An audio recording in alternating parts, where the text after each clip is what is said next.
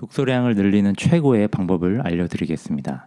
이 방법은 책은 읽고 싶은데 시간이 없다고 생각하는 사람들, 또는 책은 읽고 싶은데 몸이 피곤해서 못 읽겠다고 생각하는 사람들, 또는 책은 읽고 싶은데 난독증이 있는 사람들에게 생각지도 못한 효과를 가져올 것입니다.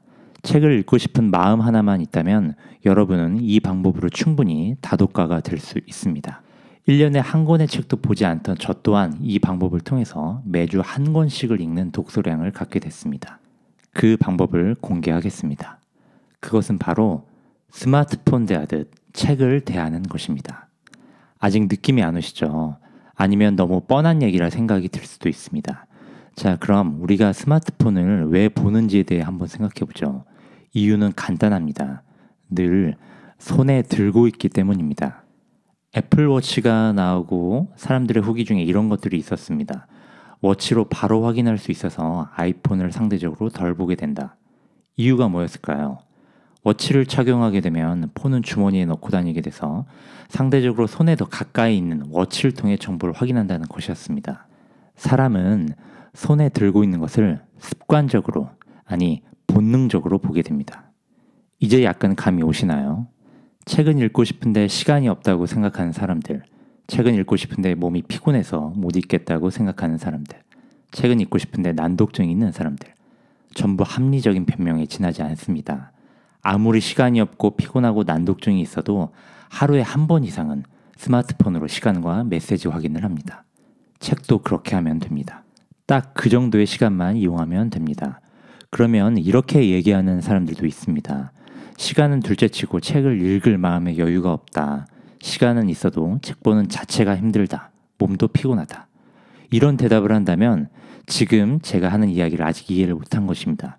저는 책을 읽으라고 한 적이 없습니다. 그냥 손에 들고 다니기만 하면 됩니다.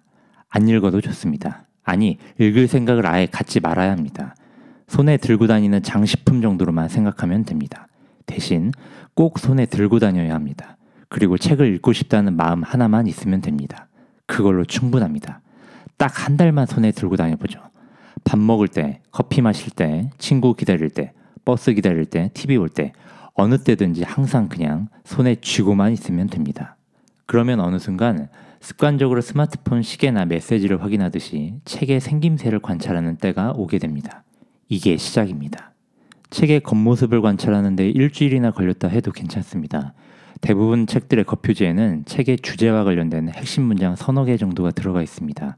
그 중요한 내용을 바쁘다고 힘들다고 책 보기를 포기했던 여러분이 바로 읽게 된 것이니 반은 성공한 것이나 다름없습니다.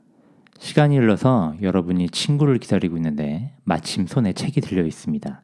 딱히 할 게 없어서 지난번에는 겉표지를 봤으니까 이번엔 책의 내부가 어떻게 생겼는지 볼까 하고 책을 열었습니다. 첫 장부터 글들이 너무 많아서 그냥 첫 줄만 읽고 책을 닫았습니다. 이제 여러분은 독서의 세계에 들어왔다고 해도 과언이 아니며 다독가가 될 가능성은 매우 높아졌습니다. 고작 책 한 줄 읽은 것 같고 엄청 과장한다 생각할 수 있지만 이 경우는 절대적으로 다릅니다. 왜냐하면 처음으로 하루 중 남는 시간에 책을 들여다보는 행위를 한 것이기 때문이죠. 그리고 여러분 앞으로도 책을 손에 계속 들고 다닐 것이기 때문입니다. 이게 바로 독서의 시작입니다. 책 한 줄 읽는데 한 달이 걸려도 좋습니다. 책을 항상 손에 들고만 다닌다면 여러분은 조만간 여유 시간을 다시 한번 만나게 될 것이고 마침 책이 손에 들려 있기에 이번엔 그 다음 줄을 읽게 될 것입니다. 그렇게 하면 습관이 형성됩니다. 습관이 형성되면 여러분은 이제 습관적으로 스마트폰을 바라보듯 책을 바라보는 자신을 발견하게 될 것입니다. 한 줄이 한 문장이 되고 한 문장은 한 챕터가 되며 한 챕터는 한 권의 책이 됩니다. 독서는 습관입니다. 오늘부터 읽고 싶은 책이 있다면 그저 손에 들고 다녀 보는 것은 어떨까요? 1년 뒤 여러분의 인생이 바뀌어 있을지도 모릅니다.